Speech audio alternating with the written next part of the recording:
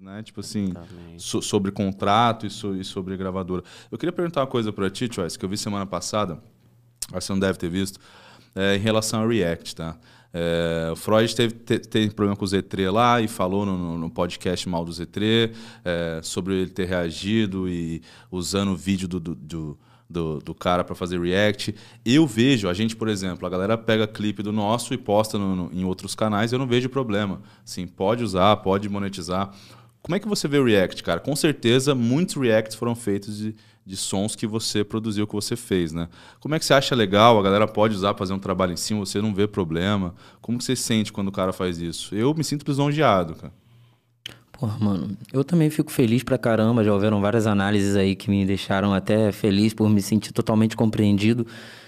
Muitas vezes, quando você vai fazer uma música, você vai fazer um rap, porra, você quer ser compreendido e te entendem errado, te interpretam mal, tá ligado?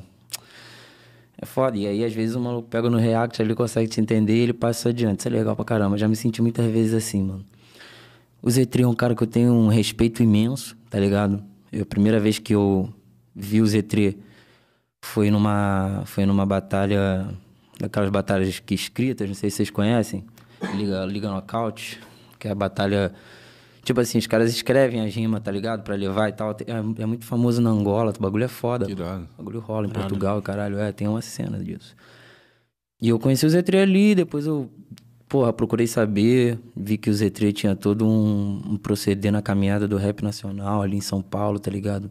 Tem uma cipher da Batalha da Santa Cruz que o pô, o Z3 amassa. E, foi, e ali eu pô, comecei a respeitar muito o Z3.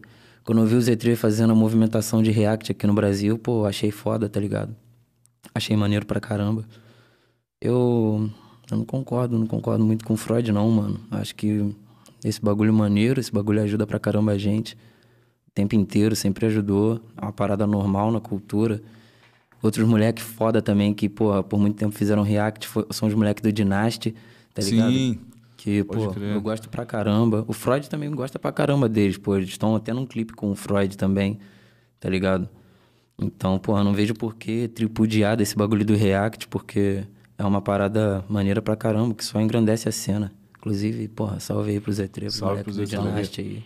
Gosto bastante dele. O que aconteceu que eu entendi foi o seguinte, cara. Pra mim, o Freud até entendeu errado o que o Z3 falou, que foi bem assim, Marcelo. Olha a cena. O Z3 é um cara que faz react no YouTube. Encontrei ele no Google, inclusive. Sim, ele me assistiu, assistir a ele, gosto muito dele.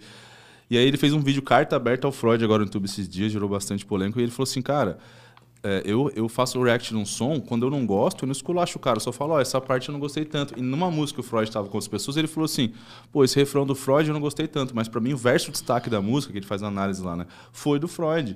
Cara, e o Freud foi em vários podcasts, falou em, falou em vários lugares, mal do Z3, e, enfim, cara, eu achei desnecessário, não conheço o Freud, mas, pô, o Z3 é um cara legal, velho. Eu sei que tem muita gente que não gosta, que ele não faz react, e ele não falou nem ah, mal do cara. Não, o Freud também é um cara legal, tá ligado, mano? Mas aí é, hum. mas aí é papo de...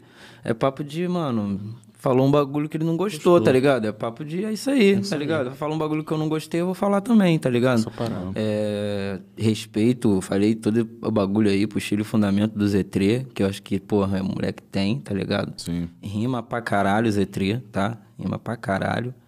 Acho que, porra, tem o direito de gostar ou não o bagulho ali no canal dele, entendeu? Freud também rima pra caralho, tem uma criatividade foda. E é muito complicado, mano, porque o cara tá falando da tua arte, tá ligado, mano? E é muito complicado, uma coisa muito íntima, mano, sabe, de dentro de você. Eu respeito o posicionamento do Freud também, entendo. Não, eu entendo. Tem uma dos... música minha que, eu, que, eu, que o parceiro que tá na faixa, a primeira música que eu lancei no meu canal, sem intensa, parceiro que tá na faixa, Verdade, ele fala aí, Zetria, vai, reagir, vai, vai reagir nessa porra não, né, cuzão, não sei o quê. Dá uma zoada bolada, na época eu até brinquei com o Zetria também, mas sempre mantive respeito pelo cara, mano. Porque eu acho que ele é importante pra cena, sim. Ah, eu também acho. Eu, eu, eu, puxei essa parada mais a questão, porque muita gente começou a falar, pô, mas quando, quando to, toda hora fala bem, aí quando alguém fala mal, pega a pilha, tipo, como que a gente reage, por exemplo? Eu já fui um cara que eu, eu fui muito atingido já por comentário no começo, de você ver 200 comentários bons, se você vê um ruim, aquilo ficava bravo, queria responder.